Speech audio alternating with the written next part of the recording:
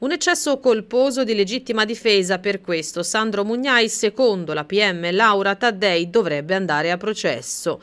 È questa la conclusione della Procura di Arezzo al termine delle indagini sulla morte del 59enne albanese che a San Polo, alle porte di Arezzo, appunto, venne ucciso da Mugnai. Era l'ora di cena, Mugnai si trovava in casa con la moglie, un figlio e altri parenti. All'improvviso la casa iniziò a tremare sotto i colpi di un mezzo da lavoro. Mugnai, accortosi che il 59enne stava colpendo la sua abitazione con una ruspa, uscì di casa armato con una carabina regolarmente detenuta e fece fuoco.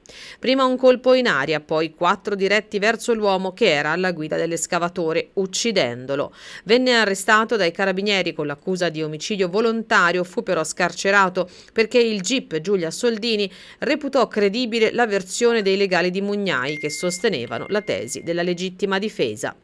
Adesso, a distanza di oltre un anno dall'accaduto, arriva l'avviso di chiusura indagini della Procura che potrebbe aprire le porte al rinvio a giudizio.